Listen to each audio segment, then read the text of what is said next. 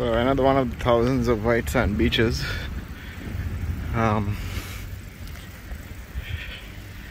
yeah, look at the flooding. Um, you can see there's heavy traffic even though it's a Sunday. You can see the cars drive on the opposite side of the road. So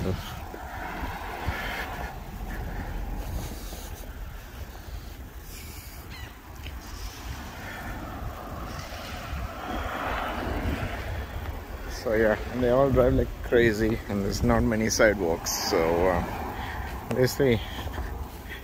um, the other problem in Bahamas is that yeah, taxis are really hard to get. They're all independent. There's no centralized taxi. I tried a bunch of apps which none of them which actually worked. So there's like these bus stops. They're fixed routes for the buses but buses come on their own time sort of. And the banks are open only like I tried to go to a bank to change money.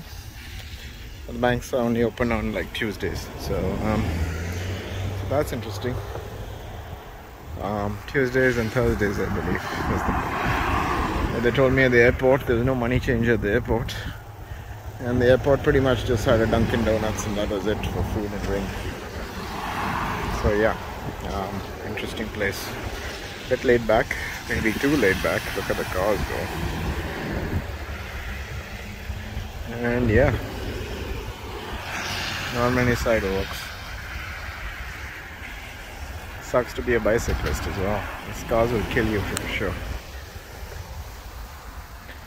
Yeah other than transportation I mean Bahamas is awesome. But seriously guys get your act together as far as transport goes. That's a bus. So yeah they go at like random times as well This is a white sand beach in Nassau. It's got these warm water pools which form stagnant water from the high tide. Um, sand is coarse near the water's edge, but it's uh, soft and very smooth. Outside of the water's edge, you can see um, it's sort of like quicksand very soft and smooth. Um, near the water's edge is coarser sand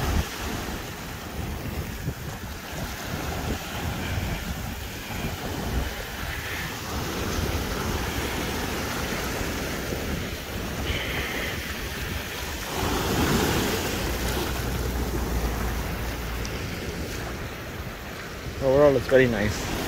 Very hot. Needs uh, you need sunblock and you need um, yeah you need a really good hat.